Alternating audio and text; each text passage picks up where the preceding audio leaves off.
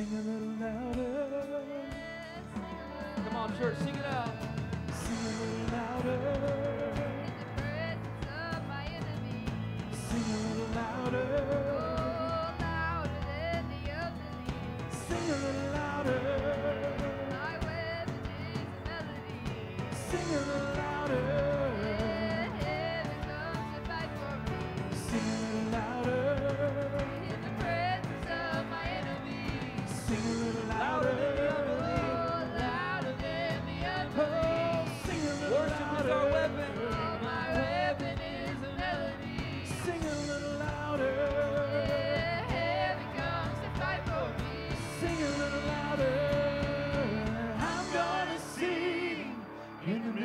Of the storm.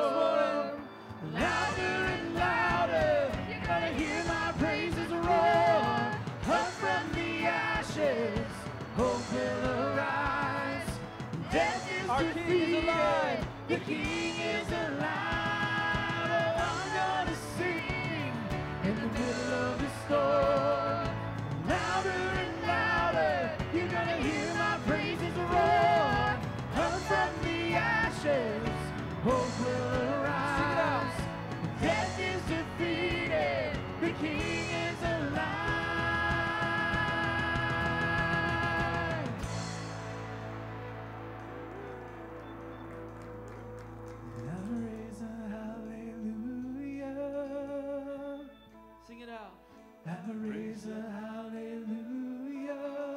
Lift him up in praise this morning. I raise a hallelujah. I raise a hallelujah.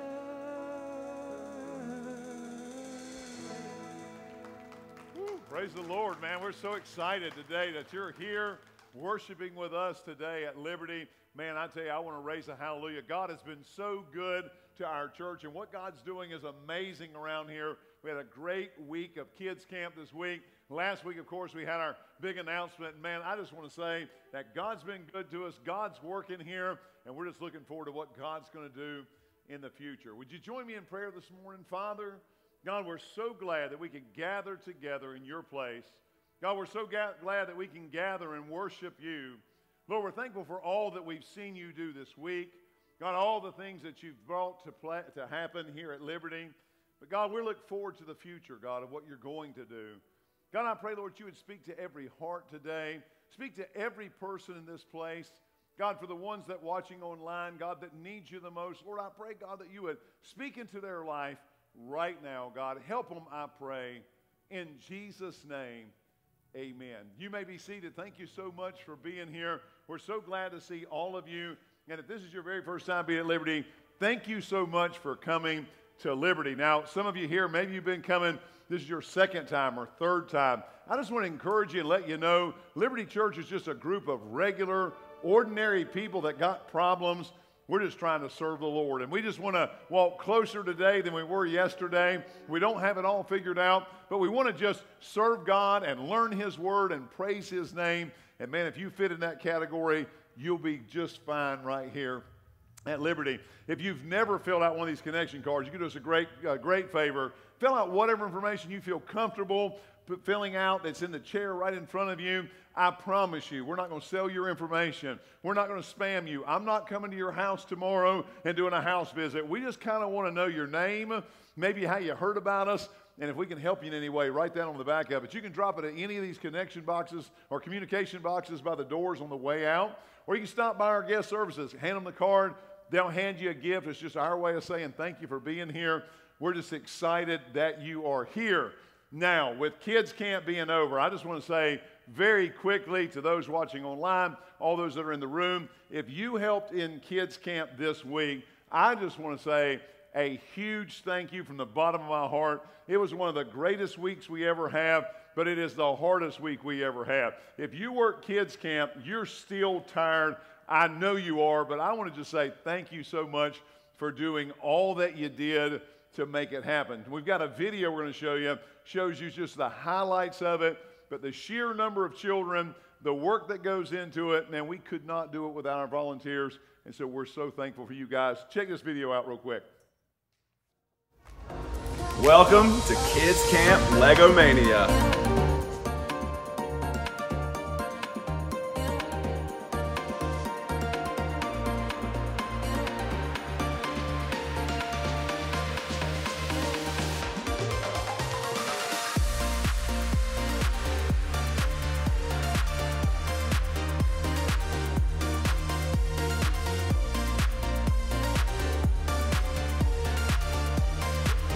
What do you like about Kids Camp? I love the Chango Chamber. Woo!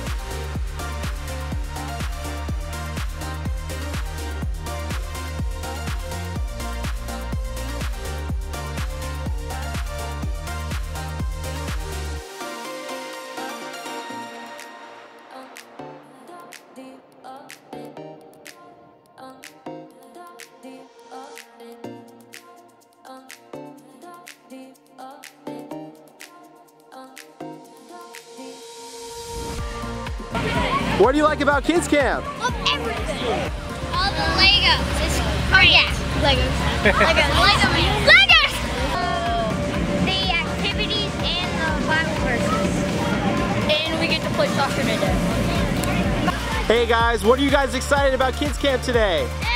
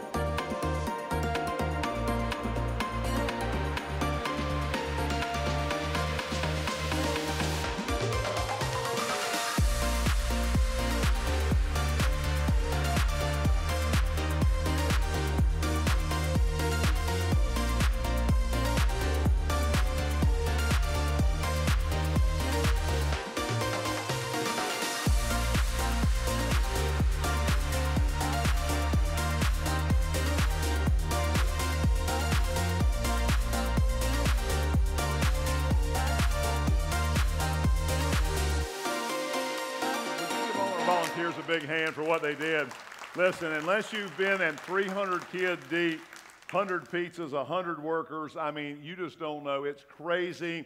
And the way we say thank you is we end up sliming our workers because kids love to see people get slimed. Somebody asked me in the first service, Preacher, why did they pie you in the face? I said, Well, last Wednesday was my birthday. They called me up, sang happy birthday to me, and then pied me in the face. I mean, that's how they say they love you at kids camp. But I just want to just thank everybody from the bottom of my heart. Pastor Brad, our youth pastor, Zach Westall works, uh, uh, he's, a, he's his assistant up there. Man, Miss Robin and Dale, all the work that went in, all my volunteers. Guys, I don't want to forget any of you, but the truth is, if y'all hadn't put in all the time, all the work, all the effort, man, we would not have survived it. So thank you so much. I'm so glad that you guys care enough about the kids in our community to put on such an awesome, amazing event. Well, guys, let's do this. I'm excited. I get to preach the last sermon in this series today. I'm looking forward to what God's going to do for us uh, today in this service. So let's do this. Let's stand together and we're going to sing and worship. I want you to be reminded this morning that we come into this place for a very specific reason. We come in here today to learn about, to sing about, and to praise the King of Heaven. And guys, I want you to just lift your hearts up, lift your voices up, and let's just worship Jesus for just a little bit today. I want you to help us with that. Guys, you lead us.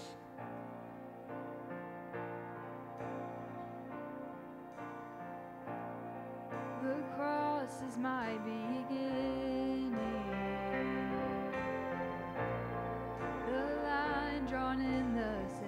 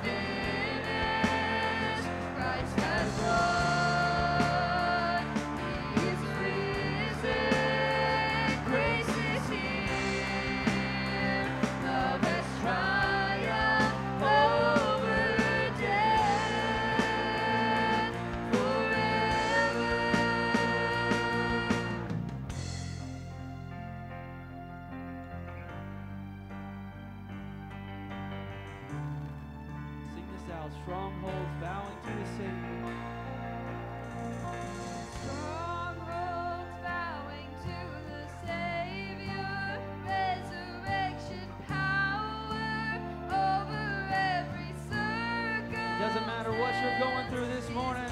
His word stands. It will not be shaken.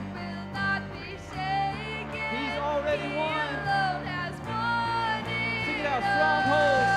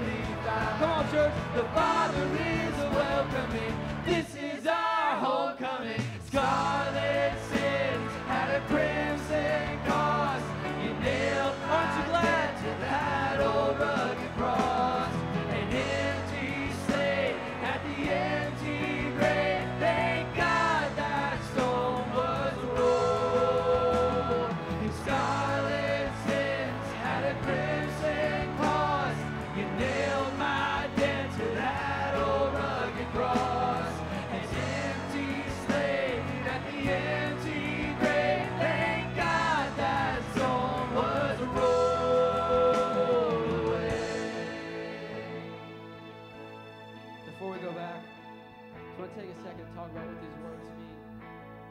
All of my debt, all of your debt, all of the entire world ever exists is debt nailed to that cross with Jesus. And he rose in victory so that one day I can see all the saints in glory with him. And we can spend all eternity praising his name where there's no more pain, no more suffering, and it's all because of what he did on that cross. Let's start right there. We're going to sing Roses in Blue. Roses in bloom, pushed up from the embers.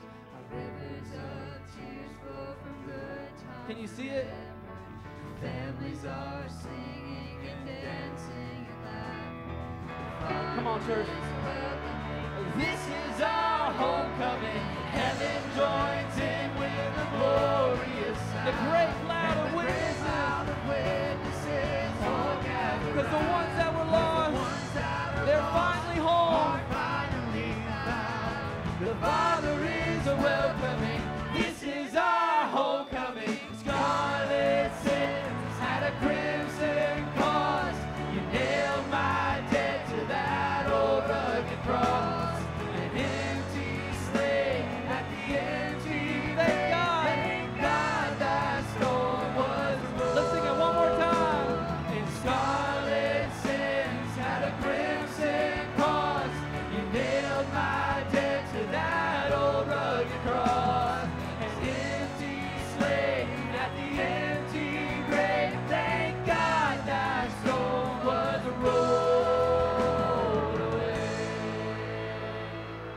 Somebody put your hands together and praise. Amen. Amen. Thank you. You can be seated.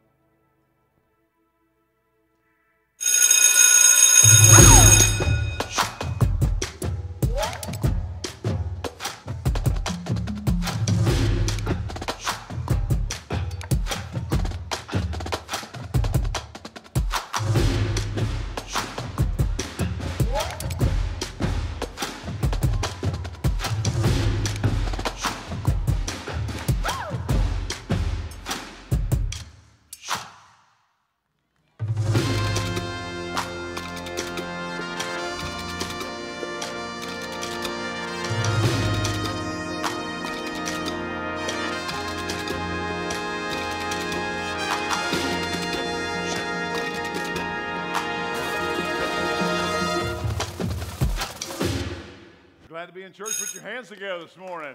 Man, it's so good to see you. I'm so glad that everybody comes in. You know, I'm always amazed every Sunday. Some of y'all, we should do this. We should have a camera that y'all can see from the top here where y'all can see on the screen. Before the service starts, if you were to look out here, like when the countdown goes to zero, it's like, hey, nobody's in the church. And then when the first song's over, the lights come up, you're like, oh, hey, there they all are, right? And so, all you guys that come in late, we love you and we appreciate you because it makes us feel good when we look out here and see you back.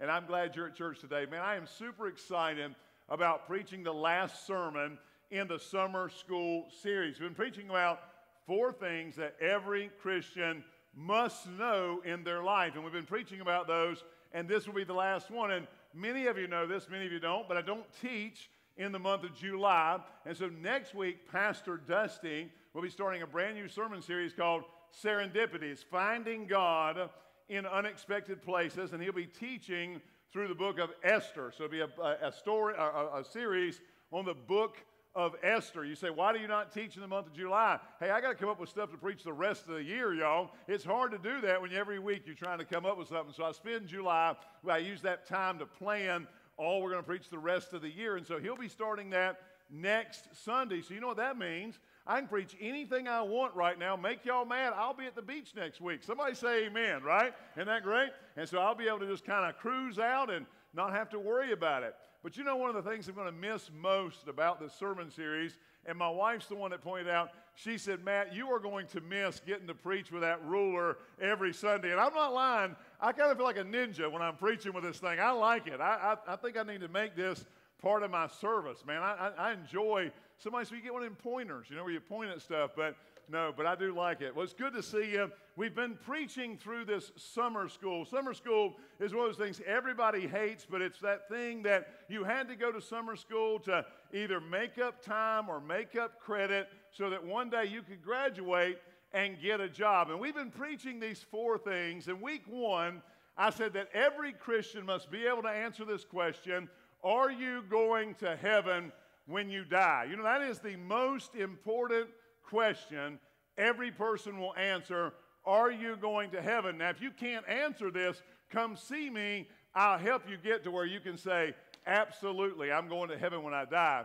And then we preach the way we live matters. It's important for every Christian to understand and to realize that the way you live your life, it really matters.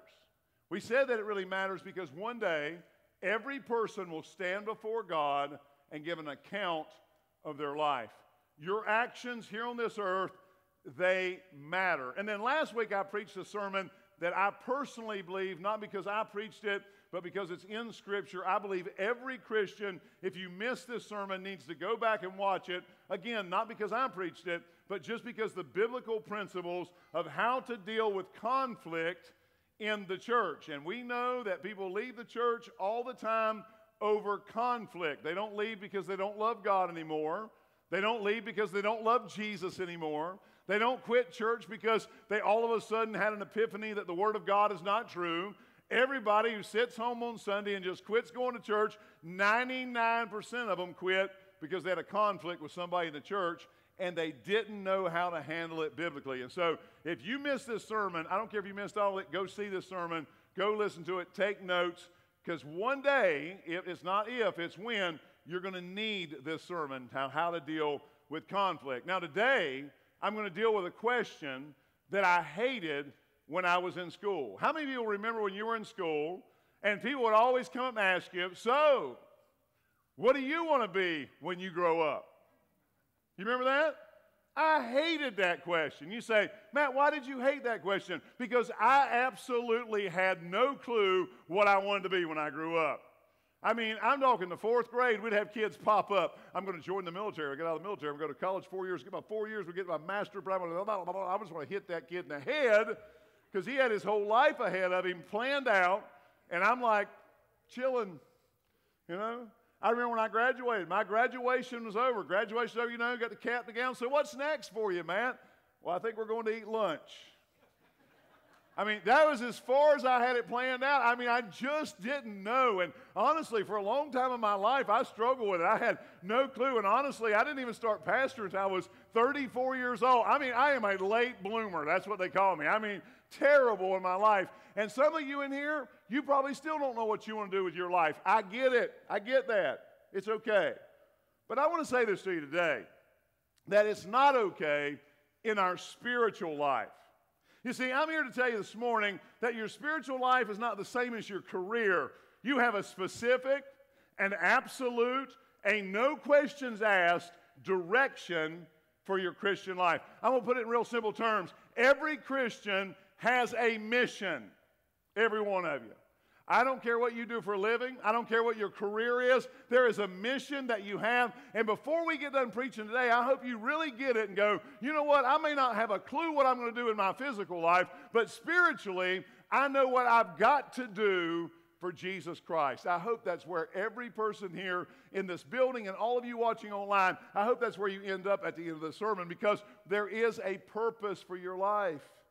You know, it, it is. Now, where's that purpose found? Well, take your Bible or take your iPad or your phone and look at 2 Corinthians chapter number 5. If you don't have any of those, we have it on the screen. And if you're like me and you need readers, this is a much easier version. We got an old timer in the church that I used to work with. He come by me this morning. He come in. I said, "Hey, good morning." And all of a sudden, I see him headed back. I said, "Where you going?" He said, "I forgot my readers." Old people problems. Old people problems. Right here, front row. You see, it happens. So we got it in big script up here so you can read it. Second Corinthians chapter 5, Paul's writing to the church at Corinth, and he's giving out some instruction, and he's telling them some things, and he develops in this little passage of scripture the purpose and the mission of the Christian life, everyone's Christian life. And I'm going to have to get to that purpose, but I'm going to build some as we go. So let's read it, and then I got some preaching to do so we can get to the purpose. Notice what it says in verse 17. Therefore, if any man be in Christ, he is a new creature. Old things are passed away. Behold, all things are become new, and all things are of God, who hath reconciled us to himself by Jesus Christ, and hath given to us the ministry of reconciliation. To wit, that God was in Christ, reconciling the world unto himself, not imputing their trespasses unto them, and hath committed unto us the word of reconciliation. Now then, we are ambassadors for Christ. As though God did beseech you by us, we pray you in Christ's stead, be ye reconciled to God. For he hath made him to be sin for us, who knew no sin, that we might be made the righteousness of God in him. Would you pray with me this morning? Father, I come to you today, and God, I ask you that you would open our hearts to your word, and that God, your word would speak to us. Lord, may every person in this room and every person watching online leave this place knowing and understanding that their life spiritually has a purpose and that their spiritual life has a mission. God, I pray that when we leave this place, that we would leave this place ready to accomplish this mission for you. Lord, we love you, Lord. Help us, we pray. In Jesus' name, amen. Now, as we get in, and we talk about the mission and the purpose of your life, and how in the world are you going to find what the mission and the purpose of your life is. Paul kind of starts it off by giving us a little precursor before he jumps into this is what I want you to do. Basically, here's what he says He says, Because of this, you can do this. Everybody with me? Because of this statement I'm going to make, now you are equipped to be able to do the next thing. Now, notice the first thing he tells us. Notice what it says here Jesus is the answer. You say, Preacher, preacher, what do you mean? Well, notice what it says. He said, if a man's in Christ, he's what? A new creature. It says, if a man gets saved and a man becomes part of Jesus Christ, a woman gets saved or she becomes a part of Jesus Christ, the Bible says that we become a new creature and that everything old, what happens to it? It passes away and everything becomes new. Watch this, guys. When you get saved by the grace of God, take Matt, that God takes a guy like Matt and says, Matt, you got all kinds of problems, but I got good news. I'm the answer for all your problems. Everybody with me? Somebody say amen just so I know you're alive. All right, y'all look sad. Red Bull next Sunday. Everybody here. Everybody needs some. And because Jesus saved Matt, he said, Matt, I'm going to give you a brand new life, and you are going to walk different, talk different, look different, speak different, see the world different. Everything's going to be different because I'm going to save you and change you. Is that right? That's right. That's what happens. That's what Jesus does. Now, I want you to understand this, Christians. We must realize, every person here, that Jesus is the answer. Every person here's got to realize that. But you know what I'm afraid of? The church has forgotten that. The church has forgotten that Jesus really is the answer for the world that we live in. People come to me all the time, they go, Preacher, can you believe how crazy the world is? Anybody watch news lately? Crazy. You don't believe the world's crazy? Just open up Twitter about 15 minutes. You'll be like, what in the world? The whole world has lost its mind, right?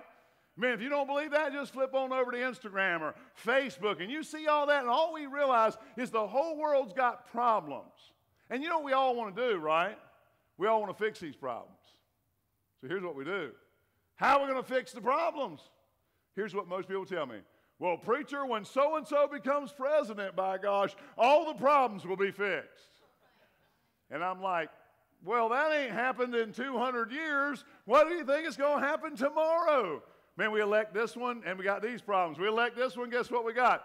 More problems, just a different kind. And I want to say this to you, church. There is no political party, there is no candidate, there is no movement or organization that can change America. The only thing that will change America is Jesus Christ and the gospel of Jesus Christ. The only thing that can change it. See, people say, You see the immorality in the world? I'm like, Yeah, I see it. But am I shocked? No, I'm not shocked. I'm not shocked when people who don't know Jesus don't live for Jesus. I'm shocked when Christians don't live for Jesus. See, that's quiet right there. You see, what we find out, what we realize is Jesus is the answer. Jesus has always been the answer. People don't experience Jesus if they never experience the saving, changing power of Jesus Christ. I promise you, church, it ain't going to get better. I don't care who they are. It will happen. Jesus Christ is the difference. You see, Jesus Christ can come into someone's life who is an alcoholic or a drug addict and cannot just help them, he can change them. He can come into a sorry parent's life and make them a good parent. He can take a person in society who is not adding anything to it, he can save them and change them and, and make them into a person in society that everyone wants to be around. I'm just telling you right now, Jesus has the power to change people's lives today. And we've forgotten it somehow. We started going and saying, so and so's our help. Can I say something that won't offend y'all? It will offend you, but can I say it anyway? Some of y'all on Facebook, Instagram, Twitter, arguing politics till I want to throat punch you. And I ain't never seen somebody respond back to you and go, oh, yeah, you're right. Never seen that. I, I, don't see it like, oh man, I've been living wrong all this time, but man, you posted that, and all of a sudden, man, I'm, I'm going to start doing this. It don't happen like that. I want to just say this to you, church. Why don't we spend the same amount of time posting about Jesus and the gospel of Jesus and let Him take care of it and let Him change what's going on in our country? Why don't we do that? It's because we forget that Jesus is the answer. If you're watching online right now and you were wondering, let me just finish it for you. Jesus is the answer. He's always been the answer. Always. But number two, let me show you this quickly because y'all about to die on me. Paul says, Look, the reason you are who you are is because Jesus changed your life. And everything you used to do is dead, and now you live in a new life. And then he says, Matt, not only have I given you a new life, but notice what he says. All things are of God because God reconciled us to himself. And, and, then, and then what he says here in the last part of verse 18 is this and hath given to us the ministry of reconciliation. If you look down at the end of verse 19, it says, and hath committed unto us the word of reconciliation. Get this, guys. Everybody always asks me, Preacher, I can't do anything for God. I don't have any talents, gifts. You know, I don't have any. I can't sing. I was talking to Drew, the drummer, this morning. We were joking. I said, Man, you did a good job this morning, man. It's really awesome. And he was talking about something. I said, Well, you know, I can't sing, I can't play. All I can do is go, Yeah, that sounds good, right? But I get over here and I get to singing, man. I just let it rip, even though I can't sing. But but I, I like, but I ain't never getting up here because I ain't got that. Y'all, y'all, oh yeah, y'all wouldn't want it. But let me say this to you: God's give us all though different abilities. You understand, God's given us gifts, God's given us talents, but I want you to understand this God has all given us the same ministry, and that ministry is the ministry of reconciliation. Now you say, what in the world does that mean? That's a weird ministry, the ministry of reconciliation. How much you to get this? I want everybody to think about this. How many people realize that every child that's born in the world is born with something that separates them from God. Think about this. When Matt was born, I was born a little sinner. I, I know I was a sinner because mom didn't teach me to bite kids, it just come natural. Mom didn't say, now listen, when a kid gets your toy, you smack him in the head. She didn't have to say that, did she? It just come down. I'm like, give me my toy, right? You know what I'm talking about, right? If you've got kids here, I remember when Shelby was a little child, I, I couldn't hold her for like a year. If I did, I had to hold her my back to me because if you let her head on you, she bit you. Like holding a piranha all the time. She's a little mean sinner. That's what she was. And then they grow up to become lying little sinners. Did you get a cookie? Just chocolate chips all over her face. No, uh-uh, not me. We don't have to teach them to do those things, right? Why? They're born that way. Here's the problem with that, though. When Matt was born, Matt was a liar. Matt was, a, Matt was mean. Matt was ugly. Matt was hateful. And here's the problem I'm over here in my hatefulness, my ugliness, and God is sitting over there in his holiness. Perfect. And sin cannot be in his presence. And there was a problem between me and God. There was something blocking me from God. What was that problem? Sin. Well, here's the deal, church Jesus Christ wants to reconcile me to God. He came and He died on the cross. He shed His blood for my sin. He paid the price. All I have to do is accept what He did, put my faith and trust in Him. He'll remove my sin as far from me as the east is from the west. He'll remember it no more, and guess what? Man, I can just embrace God, right? Right? But how did I find out about that? somebody told me. I remember my daddy got saved. My dad was a drunk and drug addict. Y'all know the story. Dad was bad. He got saved. God helped him. He wouldn't have a car. We came to church. We went to church at Gospel Light Baptist Church. They had a bus ministry. They picked us up on the bus, church bus. Went to church bus school. You know, like it was like a it was a big gymnasium like this. We had bus church, is what they called it. Bunch of kids, three or four hundred of us, and there was a man named Rick Hildebrand. You know what Rick Hildebrand did? Every Sunday, he got and told me, Matt, God loves you. God died for your sin. God wants to take you to heaven one day. And guess what? Through Rick telling me, I came to Jesus Christ for salvation. You understand that me and you have been given this job, this ministry of reconciliation. What is our job? We can't save anybody because we're just sinners like they are that are saved, right? But what we can do is we can tell people, hey, listen, man, I know a guy that can help you with your problems. Everybody with me? Every person here has been given that ministry. It starts in your house with your kids and it goes out your front door. Who should you tell about Jesus? Well, what, if you had the, what if you had the cure for cancer? Would you sit home in your house and go, man, I invented this cure for cancer. Isn't this awesome? Well, hey, I know somebody's got cancer. We're going to go help them. Oh, no, no, I'm going to keep it here. Would you do that? You would go tell everyone. You'd be on CNN and Fox News and on, on the Twitter, and you'd be on Instagram, you'd be on Facebook, and you'd be everywhere that you could be. And you'd be going, hey guys, listen, you ain't got to die of cancer. I got the cure. Wouldn't you be doing that? But how many people realize that everybody's got cancer who gets cured still going to die one day? You realize that? I'm going to ask you some questions. I asked the first service this. It went over about as good as it's going over right now. You know, you can tell when you have a dud of a sermon. It's like you try it in a two part, you're like, yep, both of them hated it. So you know it's not good, right? But I asked them some questions, and I want you to answer by holding your hands up and down, okay? That's what I want you to do. And, and if you don't believe this, please don't, don't raise your hand. I don't, I don't want you to lie. I just, I just want you to be honest, okay? And if you don't believe what I'm asking, that's okay too. I'm not mad. I'm just asking questions. But how many people in this room believe that there really is a heaven where people will live in eternity with God? Raise your hand. Believe that? You see here. Raise your hands. All right, you can put them down. And then I want you to answer this question. If there's a heaven, how many people believe that there's really a place of, of torment punishment called hell. Okay, so you put your hands down. So here's the question. If we really believe, if I really believe, if man, I'm going to put it in my part because I know how sorry I am, but if I really believe that there's a place where people can go and spend eternity in heaven in enjoyment, and then I know that there's a place where people go that they would be tormented for eternity, who would I not tell that news to if I really believed that? here's the question. I, I, asked Pastor Barry in the first service. Of course, he lied. I said, Barry, how old are you? He said, I'm 25. I said, okay, we'll go with that.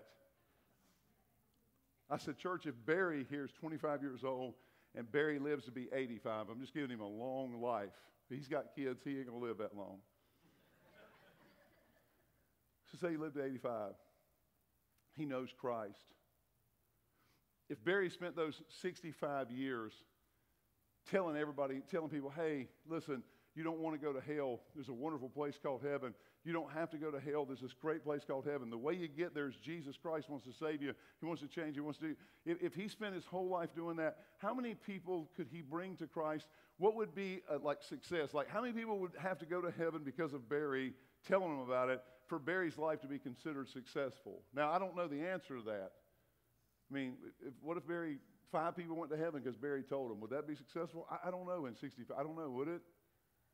But, but let me ask you this, though. How many, and I don't want nobody to raise their hand in here, how many people could really, in your mind, could you really think that I know that this many people are going to heaven because I told them about it, and that's how they found Jesus? Don't raise your hand, but I just wonder, how many would that be in your life? You're 50 years old, you're 60 years old, you're 70 years old, and you say, This many people I know are going to heaven because I took the time to tell them. I listen, Rick Hildebrand Salisbury, North Carolina. I know of one of them, and it's me. I know that. I don't know how many he, he, he shared it with over the years, but I know one day, one day I'll be able to go into heaven, I'll be able to walk up to Rick and hug you and say, hey, man, thanks for telling me about Jesus. I'll be able to do that. But, but how many of us can do that, and how many of them would that be? And what would that success rate, what would, that, what would we really consider successful if we spent our whole lives and, oh, you got a ton of money. Well, I died, I was a millionaire. Yeah, but how many people went to heaven because of you? Or, or I died and man, I had all this stuff. I had a beach house and a mountain house that my kids now have. And I, I, that's great. All that's awesome. But how many people were in heaven because you, hadn't told them? That's the question. That, that's the thought I thought. And he said, Every one of us has been given this ministry. See, it's not Matt's job to reconcile anybody to Jesus. I can't reconcile, I can't do it. All I can do is tell them about that guy that can do it. And my job is just to set up the meeting. Like, hey, Andrew, if you want to meet Jesus, I can help you meet him. All I can do is set that up. Jesus has to take over from there. But my job is to bring this, this message of reconciliation to everyone. And I know it's difficult and I know it's hard, but listen, it's not some political candidate somewhere that's going to make a difference in your friend's life. But Jesus Christ can not only give your, your family member or your friend a better life here, He can give them an eternity in a place called heaven. And it should break our heart. And I know this is not how it works because I know this is, I just know it's not. But what if we were in a line and I was in line, I died, and I'm waiting to go into heaven, and I'm in this line, and this is the line to heaven. And what if the line to hell is over here? And what if I'm walking up and one of my friends are there and he says, like, hey man, which line are you? Oh, I'm going over here. I'm going to heaven. He's like, man, I'm, I'm going to hell. And he said, well, how did you get to heaven? So I, you know, I accepted Christ as my Savior. I put my faith and trust in Him. I came to Him in repentance. What if he looked at me and said, but Matt, why didn't you tell me? How would, you, how would we answer that? And could we really even say that they were our friend if we wouldn't tell them that? I mean, I don't, I don't, think we could. And see, we all been given this. He says that here's the deal we're actually just given the word of reconciliation. That means all we have to do is open our mouth and say, hey, man, would you be reconciled to Christ? God loves you, He wants to save you. You know, it's, it's, really, it's really tough, isn't it, to think about it that way. I got a lot I wanted to preach, and in my mind, it worked a lot better than it is right now, right? Like I thought, I'm going to bust this part and this part and this part, and bam, you know, and then I'm like, okay, I'll never get all that said. But I do want to say this this your commission. Paul says this. Now then, Matt, you're an ambassador for Christ. I mean, what, you ever go to a foreign country, you go to a foreign country, there's that place there that represents your country. What's the name of that? Embassies. Embassies. So an embassy is a place like if you go to, say, Russia, there's a, a, an American embassy there. And so if an American citizen has problems, he can go to that, that place, right? And in that embassy works a guy that they call an ambassador. How many people realize this? I know you don't realize, I know you, this would never happen, but it could happen. You know, President Biden could call me right now and say, Matt, I want to meet with you. I could walk into his office. He said, Matt, I want you to be an ambassador for me. And he could send me literally anywhere in the world. He could say, I want you to go to Ethiopia. I want you to go to Russia. I want you to go to Yugoslavia. I want you to be my ambassador there. What would that mean? I want you to go there and do my business on my behalf. Everybody with me? He could do that. And, it, and Matt not, is nobody special, but just because the president said, hey, take this commission, I want you to do this, I would be in speaking in on the behalf of the president of the United States. I would represent him and his country there. And Paul says this Matt, you're an ambassador for Jesus Christ. You, you know what I think we've forgotten, church? And I'm just going to you this, and this is the part that didn't work out real good because I got scripture I was going to read, and y'all were going to see it, go, whoa, look at that, but I don't have time. But I want you to understand that if I'm an ambassador for Jesus Christ, what that means is, is although I live in the United States of America, this is not my country. See, the book of Hebrews says this Matt, you are a stranger and a sojourner in a foreign land. And that one day I'll call you back home and you'll live with me in our country forever. And where you're at right now, Matt, even though you live there, you're a stranger there. I know you got the same accent as them, and I know you dress like them, and I know you talk like them, but know this, Matt, you belong here with me in our country, on this side of the world. That's who you belong. Everybody with me? You see, we have a different country. And the book of, in the book of, of Hebrews says that people were desiring to be in that foreign country. And one of the things I think most Christians have forgotten today is that you're not going to live here forever, church. This is only going to be 60, 70, 80, 90 years of your eternal life. 80 years here, a billion years there. That's your country. And not only, not only do we have a different country, understand this today, church, we have a different king. You know, the Bible says this at the name of Jesus, every knee shall bow and every tongue shall confess that he is Lord. And what does that Lord mean? It means Lord like a king. He is over everything. And the Bible says one day he'll come back as the King of kings and the Lord of lords. And although Biden is my president, Jesus Christ, he is my king, and he's who I represent on this earth. He's my king. But just like ambassadors have missions that the president sends them out to accomplish, church, understand this we have a mission. God didn't save every one of you in this room and everybody watching online so you could sit somewhere and do nothing.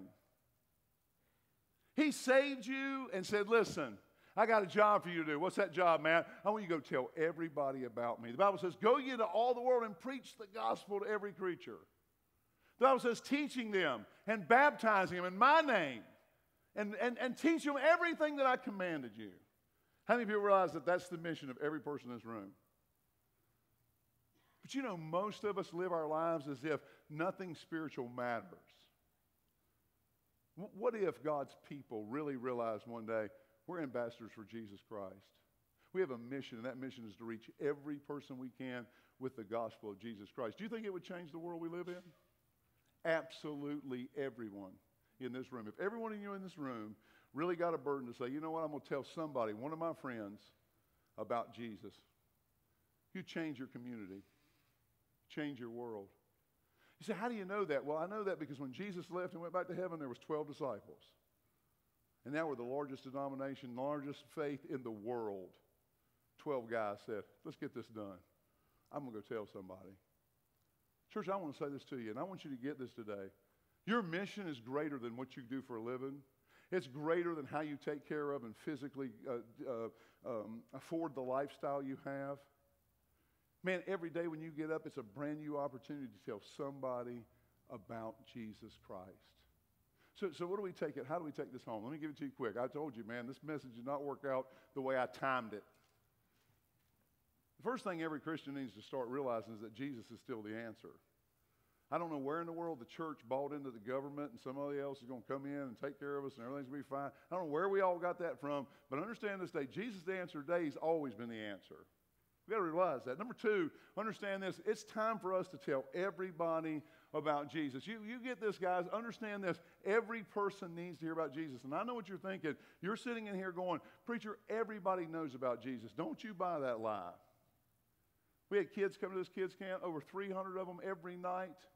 You'd be shocked how many of them have never been to church or don't go to church or that was as close to church as they'll ever get.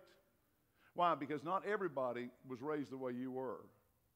And they need to hear about Jesus Christ. And by the way, man, everything we're talking about, colleges, news outlets, and social media is telling them is a lie. Everything we're saying is a lie. There is no God. There is no judgment. There is no, you're not going to face God one day. They're backing up what they already believe. And it's our job to bring this message to people.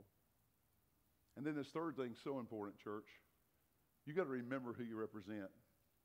You see, when you realize who you represent, it makes you act different, don't it? You ain't going to go to some foreign country representing the President of the United States and getting arrested for shoplifting. It ain't going to happen. You ain't going to get over and get some kind of party brawl going on. No, you ain't going to do that. Why? Because you represent the President of the United States. Listen, guys, we represent God. We represent Jesus Christ, the Lord and King of Kings. It should change the way we act. It should change the way we live. It should change the way we talk. It should change the way we represent Him. Church, I guess what I'm trying to say is this your mission is to reach somebody. And if I have to just be plain, who are you reaching? Who is it? Who is that person? Well, if you say, well, preacher, I don't have one, well, it's time to get one somebody that you're reaching with the gospel. Father, we come to you today and we're so thankful that, God, we have this opportunity to gather here. We're thankful, God, that you've given us the information to know you and to love you and to live in your presence. God, we pray, Lord, that you would help us to tell others about you. Help us to realize that our life is a mission and that our job is to reach others for you. God, we love you. Lord, we pray, God, you'd put a burden on every one of our hearts to tell somebody about Jesus Christ. In Jesus' name we pray. Amen. Amen. That's good preaching. Put your hands together for him this morning. What a great challenge to reach the world for Jesus. I want to thank you so much for being here. We've had an amazing time worshiping and hearing the word with you this morning. There are a lot of places around here that you could go, but you chose to be with us, and we really appreciate it. Would you stand with us this morning? Put your hands together one more time for Kids Camp and the volunteers. And that was only possible thanks to your generosity. You know, we don't give out an offering plate here, but you can text to give, you can give online, and you can give in the giving boxes. And as you can see, 402 different children walk through these doors, and that's a reach in our community because of your tithes and your offerings. Uh, let's have a word of prayer, and we'll be dismissed. Dear Lord, thank you so much for our commission, our mission here on earth to reach others for you. And I pray we wouldn't take that lightly, and we go out and reach our coworkers, our family, and our friends so that when we get to heaven, we know that we spread the gospel to everyone that we met. Thank you so much for what you're doing here at Liberty Church and what you're doing in all our lives. We thank you for your goodness. In Jesus' name we pray. Amen.